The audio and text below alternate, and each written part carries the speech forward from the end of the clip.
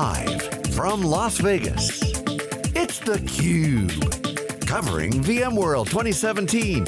Brought to you by VMware and its ecosystem partners.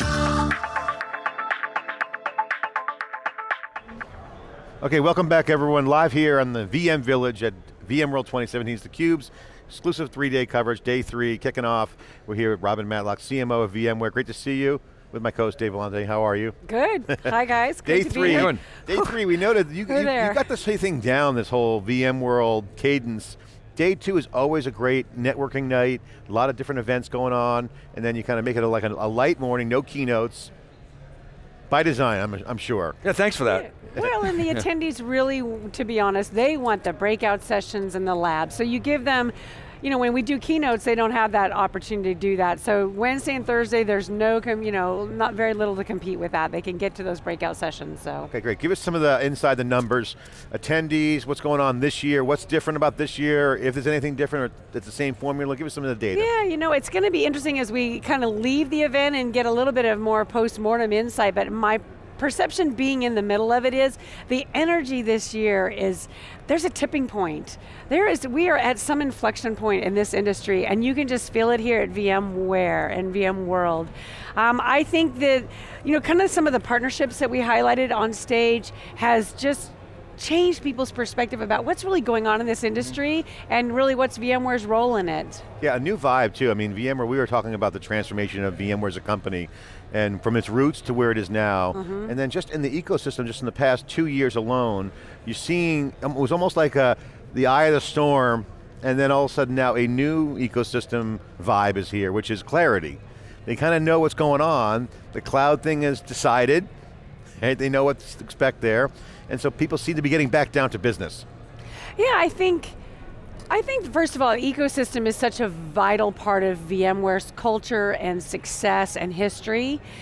But when any market goes through a massive disruption, it impacts everything, right? It starts with the customer and what they're trying to do with their business, but then all of us on the technology side, we're having to shift and adapt and change, and that means also our relationships with each other is shifting and adapting. And you know, I think you're right, I think there is a lot of historical legacy in many of our relationships. They're very strong, and, and I think those are going to continue to be very strong, but you're seeing a lot of new brands step in, you know, whether that's the Googles or the Amazons, you know, kind of taking There's some new blood, role. both on the ecosystem and also employees within VMware. We noticed some new keynote folks on stage, some great women in tech now, a lot of ladies in tech going on at VMware. You guys done a great work there. Just want to give you a, a, prop on that. Yeah, you know, actually thank you for acknowledging that because it's so important that we drive diversity and inclusion in our industry and we all know as an industry we're not performing particularly well in actually, that Actually, I was told by my CUBE guest one time it's actually even changed. It's inclusion and diversity now. They kind of move the I first.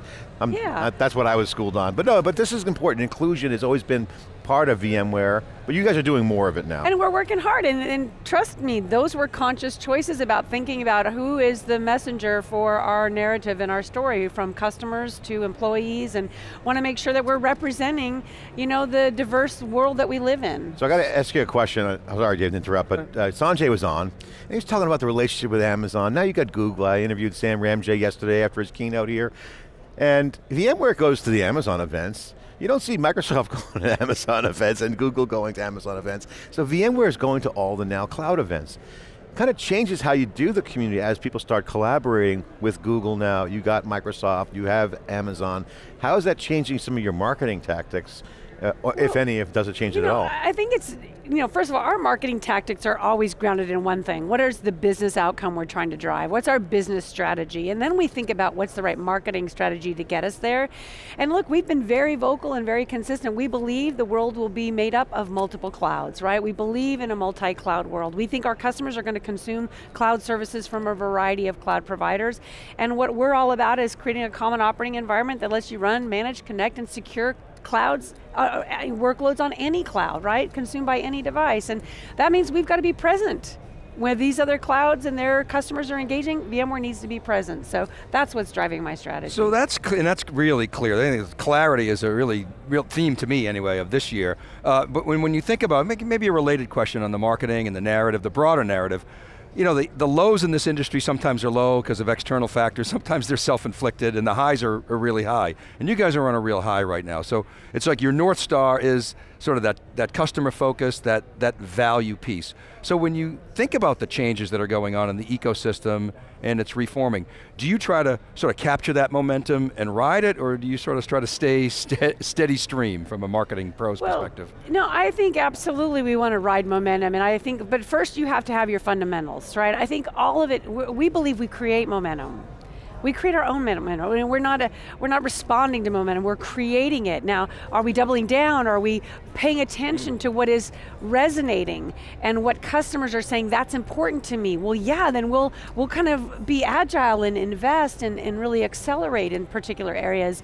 I do think VMware has tremendous momentum, but I think we've been working on that for a long time. I I, I don't think it's some you know short-term thing that's happened. I think we've been building great momentum now, quarter after quarter for quite a while. Sort of a self-powered machine is essentially what you're saying, but I do feel as though, and so tell me if you agree, that the clarity with respect to, say, for instance, the AWS announcement, and the customer clarity, with, and we've been talking about it all week, with the notion that I'm not just going to bring my data to, into the cloud.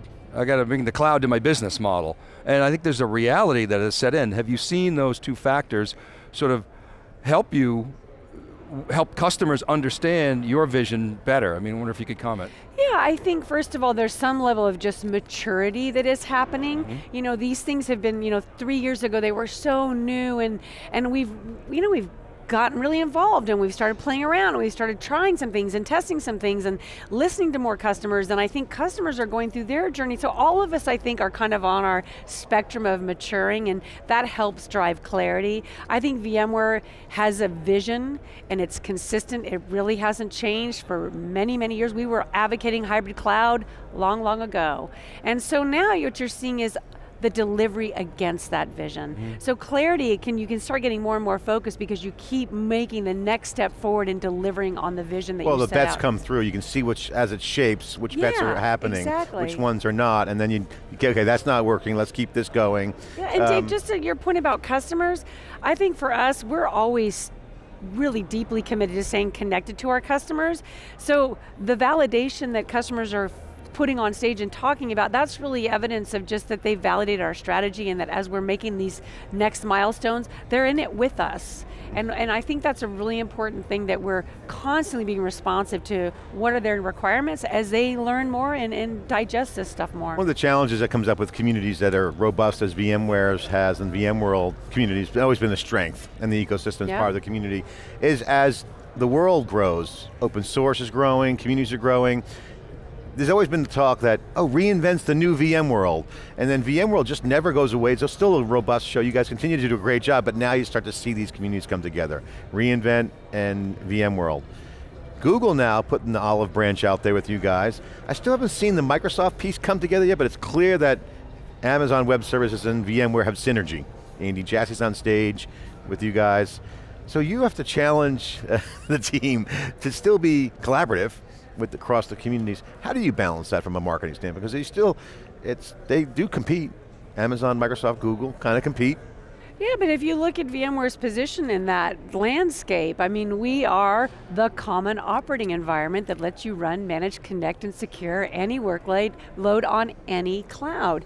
And um, you know, sure, they're going to compete, and they're going to compete fairly, and they're going to go try to win in the market. Our job is not to help or break that. Our job is to let customers decide which of those clouds make sense for their business and ensure they have yeah. a common operating environment. You know. I think we used the word arms dealer yesterday well, with Sanjay. I don't think he was going for that one well, well. But, but, but you, VMware that is not going to pass the marketing test, no, so sure. Know. We like it because it's good, good cube material. But VMware has a point of view and you have to assert that point of view as a leader or you have to be subservient to those other leaders and it doesn't appear that you want to be subservient and there is there is a stack war that's that's yeah. emerging and you are at the center of that and you can either lead it or you can follow it. And, and, I think we all bring a different set of strengths to the table. At the end of the day, VMware has had incredible success in the enterprise and within the enterprise data center. And that is our forte and we're going to leverage that. And what we are, the experiences, the training, the expertise that our customers have, they want to capitalize on that. They don't want to throw that out the window and they don't need to we're going to enable them to capitalize on that and use that in these other cloud environments and get the benefit from those cloud providers while not giving up some of the benefits they've been enjoying for years. Well, and the technology matures very quickly, and we're seeing that, and you guys address some of the cloud native stuff, but the people process stuff doesn't mature nearly as quickly. You know, you're, somebody said the other day, and I thought it was a great quote, you're moving at the speed of the CIO, which is just really underscores you, that you can't you know, get out ahead and over-rotate, or you're going to lose that customer base. I would argue that the CIO probably needs to pick up the pace a bit because he's got to move, or she, at the speed of business. It's hard. Yeah, Yep. and that's fast, as Pat was saying. That's This is the slowest day of your life going forward today. That's right. And the next day's going to be faster. Exactly. Well, props to Pat. We'll have him on at one because he's having a great year. Congratulations for, you know, really VMware. You guys did your homework. You made some calls, some decisions. Certainly with the cloud thing, that was a good call. And then you make, continue to make your bets. We've never been afraid of being decisive and making big bets, you know? That's Well- what staying relevant's all about. Well, Robin, we made a bet on VMworld years ago. You made a bet on us, and we're proud Thank to you. work with you. And thanks for your Bet. Love the support for partnership, the you Cube. guys. And and Andy Jassy the same with uh, AWS. We made a bet on them when they was like didn't understand it. Now here it is, and soon to be Google. So thanks so much for your support. all right, well here's to adapting and being versatile in this crazy industry of ours. It's all about making the bets. Here at right. VMworld 2017, that's the theme. Making the choices are clear, make the bets. This is the Cube bringing you all the action from VMworld 2017. We're back with more live coverage after this short break.